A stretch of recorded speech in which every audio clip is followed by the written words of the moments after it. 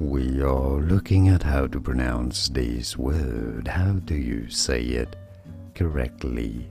The name of this vegetable.